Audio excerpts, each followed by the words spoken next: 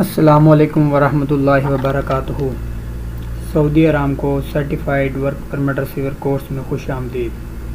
दोस्तों, आज का हमारा मौजू है third party pre requisites course third party pre requisites course में तीन मेजर सब्जेक्ट्स हैं, जिनके ऊपर हम डिस्कस करेंगे। नंबर वन पे है work permit hazard recognition and control काम करने के दौरान ख़तरात को पहचाना और उनको कंट्रोल करना। नंबर दो पे है कन्फाइंड स्पेस एंट्री महदूद जगह में दाखिला। नंबर तीन पे है isolation lockout and hold tag energy को रोकना, उस पर ताला लगाना और उसका मकसद बताना। Work permit as a recognition and control ये आज का हमारा मेजर सब्जेक्ट है। इसके ऊपर हम डिस्कस करेंगे। ये कोर्स करने के बाद हम काम के दौरान ख़तरात को पहचान कर इन पर कंट्रोल करना सीखेंगे। हैज़र्ड क्या है? कोई भी ऐसी चीज़ जो ख़तरात का बहस बनती है, जिसकी वजह से इंसान, माहौल या काम मुतासर हो सके, हैज़र्ड कहलाती है। वो चीज़ जो काम करने के दौरान ख़तरात से हमको महफूज रखती है, उसे हम सेफ्टी कहते हैं।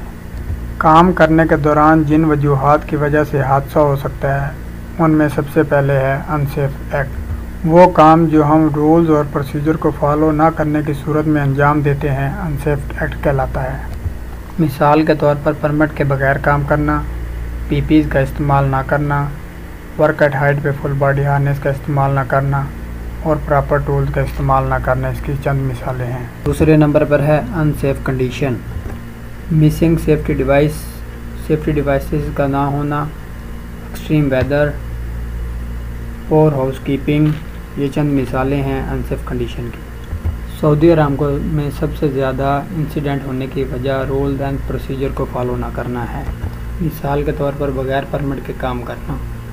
रूल्स एंड प्रोसीजर को फॉलो ना करने की वजह से आपको इंजरी हती के मौत भी हो सकती है। इसके साथ ही आज का टॉपिक अख्ताम पजीर हुआ। हर टॉपिक के एंड में एक एक्सरसाइज है जिसमें क्वेश्चन और आंसर दिए गए हैं। जिनको पढ़कर आप बसानी परमिट रिसीवर का कोर्स पास कर सकते हैं।